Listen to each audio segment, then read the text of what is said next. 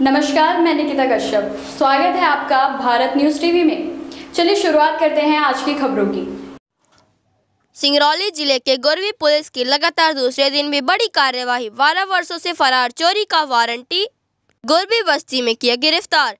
Police अधीक्षक श्री अभिजीत रंजन के दिशा निर्देशन, चौकी प्रभारी गोरबी द्वारा पिछले एक दिन से गुमशुदा व फरार आरोपी के खिलाफ टीम बनाकर अभियान चलाया जा रहा है। इसके तहत आज 12 वर्षों से चोरी के प्रकरण में फरार चल रहे आरोपी को पकड़ने में सफलता मिली।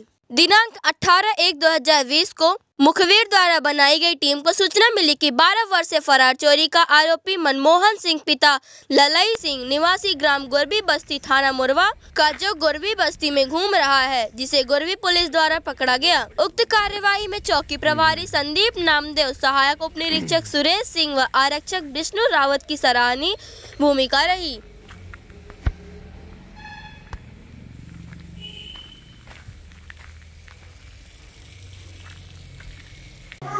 ये थी आज की ताज़ा खबर।